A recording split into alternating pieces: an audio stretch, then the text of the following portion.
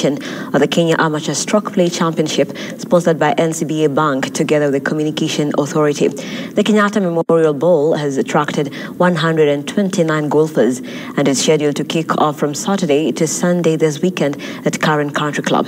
The winner of the tournament will be awarded 120,000 shillings and an automatic slot in the 2024 Magical Kenya Open. We are happy with the pool of players that have registered for this event.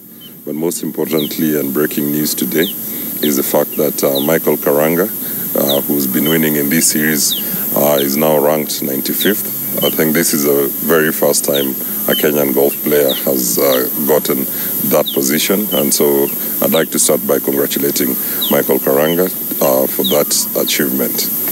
Uh, we also have players who've been playing in the junior stroke play championship during the week at Muthaiga Golf Club, and uh, we are happy with the resilience that they have uh, to participate in this event.